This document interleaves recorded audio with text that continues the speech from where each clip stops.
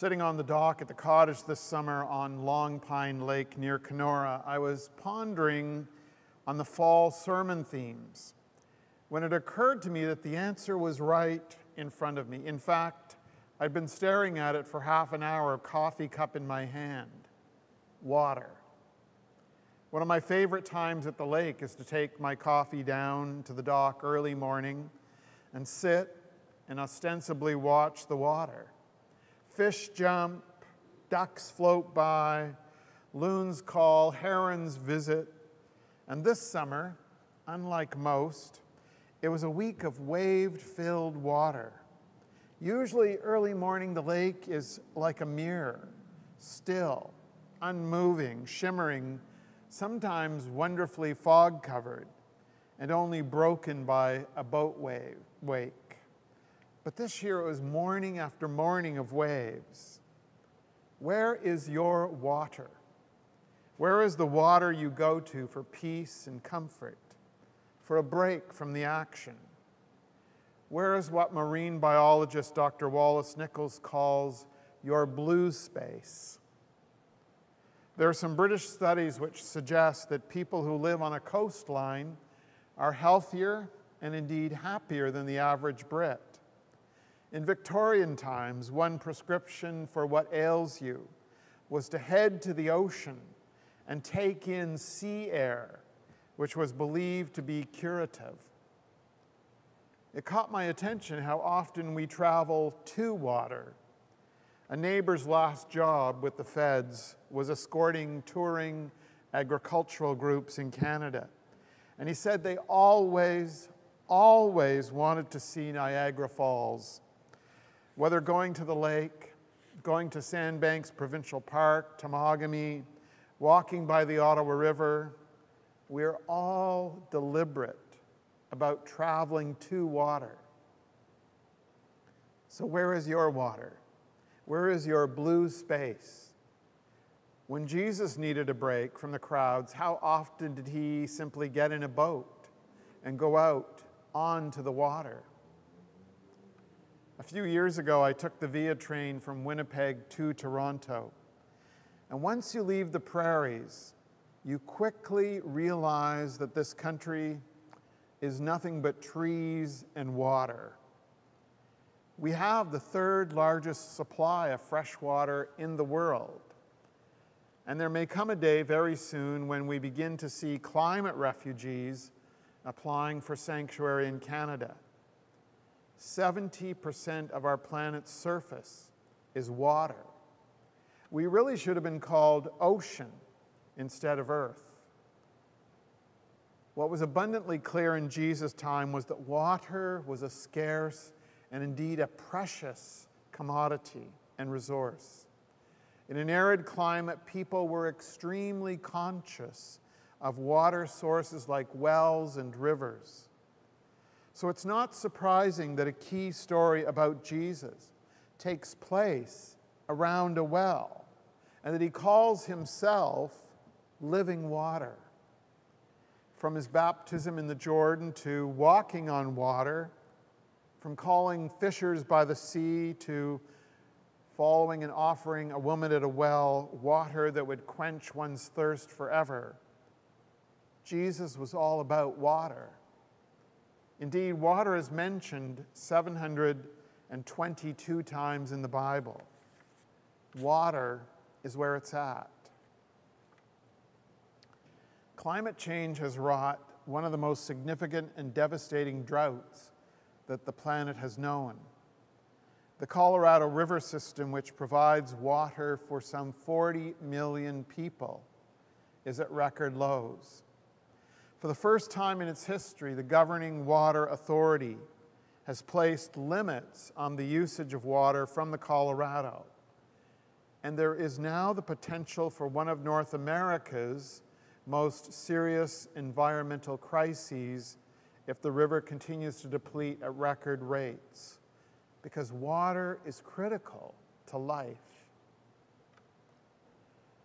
An evening I remember most more than most, was in a small cottage right on the beach at Tofino, British Columbia. Our children were just wee ones, and I can still recall that gentle sound of waves that night crashing on this long sandy beach, hour after ending hour. It was so peaceful and soothing, and I think we all had the most glorious sleeps that night. They know from studies that moving water masks noise. It gives the mind an auditory break sitting, standing, watching at your water place brings us peace.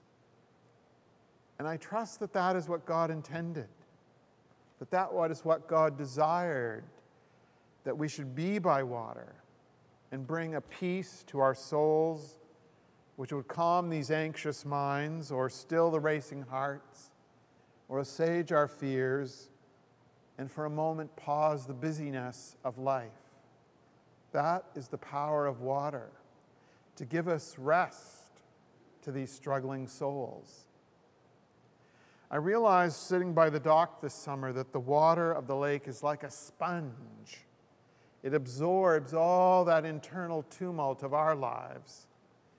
I'm always trying in my spiritual life, in my prayer life, to lift up to God the worries, the fears, the uncertainties. And there is water the water of the lake, of the river, of the ocean, just waiting. Here, take the troubling things that trouble me. Take what's fearful in me. Take what I can't control right now. And like a prayer lifted to God, I turn it all over to the water's infinite presence. Each wave carries away a burden and each wave brings that gift of new hope. As writer A. A. Milne, the creator of Winnie the Pooh, once said, Rivers know this. There is no hurry. We shall get there someday. And as Henry David Thoreau of Walden Pond fame noted, when I sit here by the sea and listen to the sound of the waves, I feel free from all obligations and people of this world. How many of us, at different times of our lives, have gone searching for that peace which, as the scripture says, passes all understanding? And there it is, waiting for us to drop by, waiting for us to watch the water, to sit on the dock, to look at the ocean, to breathe the sea air to walk by the river. Water is surely one of God's most precious gifts in all of creation. Like oxygen, we cannot sustain life on this tiny, fragile planet without water. And in the midst of the soul's uncertainties, we can sit on the dock in the early summer morning and know that water will take our cares and hold them forever and bring us a taste of that peace, which is indeed God's gift of grace. Thanks be to God. Amen. And friends, if you would join me this morning in a moment of quiet reflection and of prayer, shall we pray?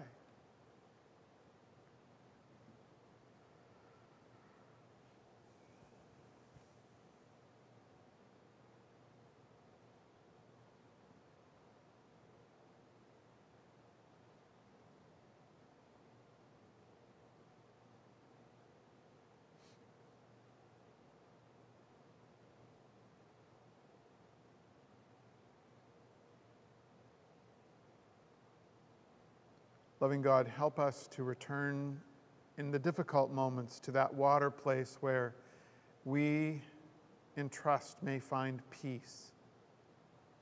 In Jesus' name we ask and we pray. Amen. Sitting on the dock at the cottage this summer on Long Pine Lake near Kenora, I was pondering on the fall sermon themes when it occurred to me that the answer was right in front of me. In fact, I'd been staring at it for half an hour, coffee cup in my hand, water. One of my favorite times at the lake is to take my coffee down to the dock early morning and sit and ostensibly watch the water. Fish jump, ducks float by, loons call, herons visit. And this summer, unlike most, it was a week of wave filled water. Usually, early morning, the lake is like a mirror, still, unmoving, shimmering, sometimes wonderfully fog covered, and only broken by a boat wave, wake. But this year it was morning after morning of waves. Where is your water? Where is the water you go to for peace and comfort, for a break from the action?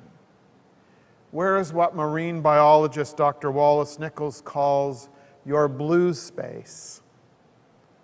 There are some British studies which suggest that people who live on a coastline are healthier and indeed happier than the average Brit. In Victorian times, one prescription for what ails you was to head to the ocean and take in sea air, which was believed to be curative. It caught my attention how often we travel to water. A neighbor's last job with the feds was escorting touring agricultural groups in Canada. And he said they always, always wanted to see Niagara Falls. Whether going to the lake, going to Sandbanks Provincial Park, Temagami, walking by the Ottawa River, we're all deliberate about traveling to water. So, where is your water?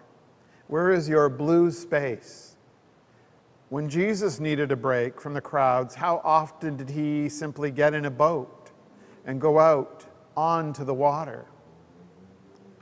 A few years ago, I took the Via train from Winnipeg to Toronto. And once you leave the prairies, you quickly realize that this country is nothing but trees and water.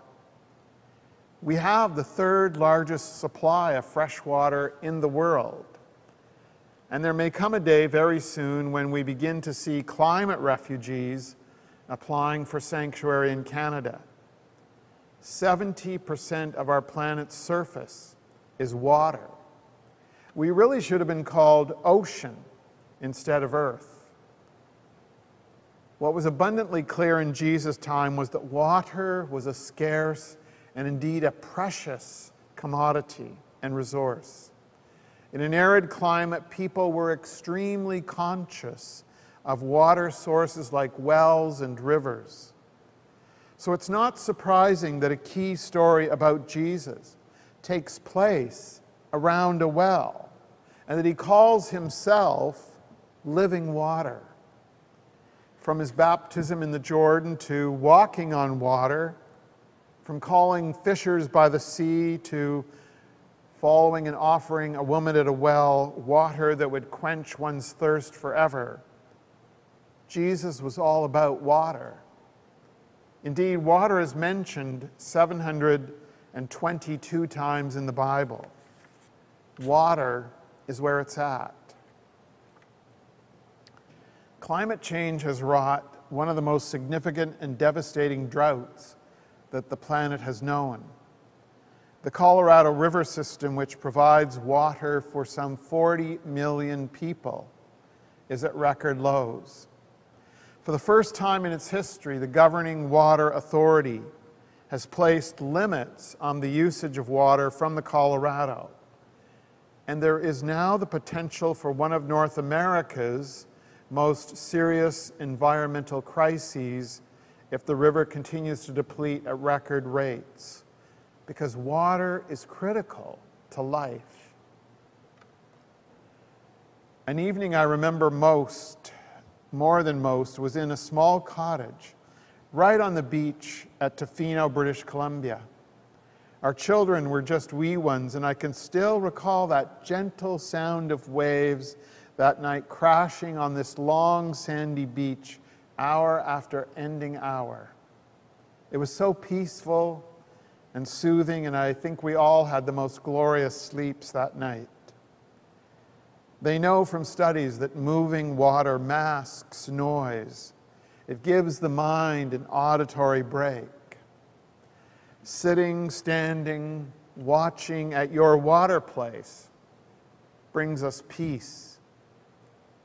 And I trust that that is what God intended, that that is what God desired, that we should be by water and bring a peace to our souls which would calm these anxious minds or still the racing hearts or assuage our fears and for a moment pause the busyness of life.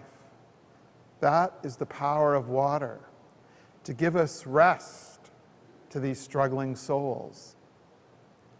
I realized sitting by the dock this summer that the water of the lake is like a sponge. It absorbs all that internal tumult of our lives.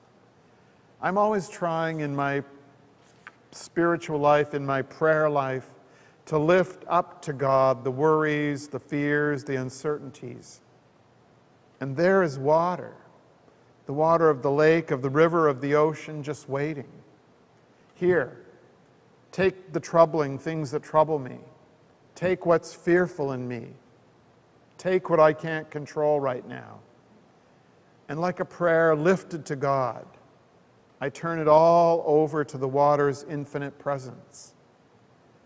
Each wave carries away a burden, and each wave brings that gift of new hope. As writer A. A. Milne, the creator of Winnie the Pooh, once said, Rivers know this. There is no hurry. We shall get there someday. And as Henry David Thoreau of Walden Pond fame noted, when I sit here by the sea and listen to the sound of the waves, I feel free from all obligations and people of this world. How many of us at different times of our lives have gone searching for that peace which, as the scripture says, passes all understanding? And there it is, waiting for us to drop by, waiting for us to watch the water, to sit on the dock, to look at the ocean, to breathe the sea air, to walk by the river. Water is surely one of God's most precious gifts in all of creation. Like oxygen, we cannot sustain life on this tiny, fragile planet without water. And in the midst of the soul's uncertainties, we can sit on the dock in the early summer morning and know that water will take our cares and hold them forever and bring us a taste of that peace, which is indeed God's gift of grace. Thanks be to God. Amen.